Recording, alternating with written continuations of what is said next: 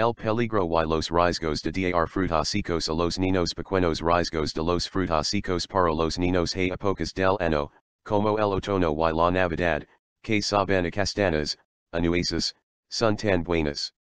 El interés por estos frutas frutos secos aumenta principalmente en las escuelas y guarderías de algunos países donde se celebran, como todos los años, la fiesta de las castanas, ocasión en que los niños aprenden a conocer estos alimentos.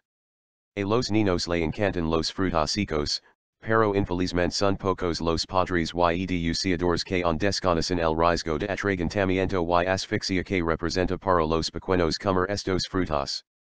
Los niños menores de 5 años no deberían comer frutos secos.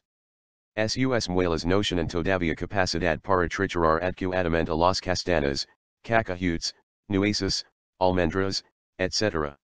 En consecuencia, existe el riesgo de que estos productos sean aspirados por el pulmón del pequeño, desde la boca hasta las vías respiratorias, en lugar de pasar por la vía digestiva, obstruyendo la vía aérea del niño y produciendo una asfixia inmediata con infección de una o varias zonas del pulmón. El niño empezará a toser, a presentar síntomas de sofocación, cuadro que puede conducirlo a la muerte. Riesgos de los frutos secos para los niños nino coach frutos secos las almendras, los cacahuetes o las aceitunas son uno de los aperitivos más demandados por los padres. Involuntariamente los niños aprenden a comer lo mismo. En este caso, si tienes a niños pequeños en casa, lo ideal sería que cambies tu aperitivo para patatas fritas, canapés o embutidos.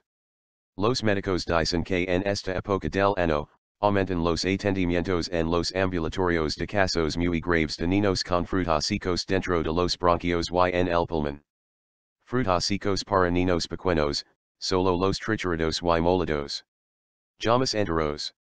En todo caso, SITE has despistado y notas que después de comer una castana tu hijo empieza a toser, a respirar mal y que su carita y labios se ponen de color morado, Lavelo inmediatamente urgencias y la vez reacción recurriendo a algunas técnicas de primeros auxilios.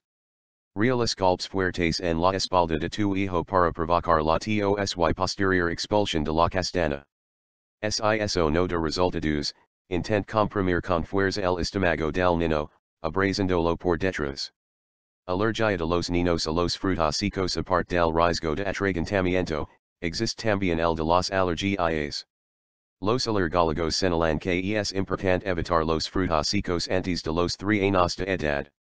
Aunque parece algo inofensivo, lo que mucha gente desconoce es que la alergia a frutos secos es una de las más peligrosas y persistentes y que el mayor consumo de dulces elaborados con frutos secos, hace aumentar el número de reacciones alérgicas entre la población infantil, especialmente en Navidad.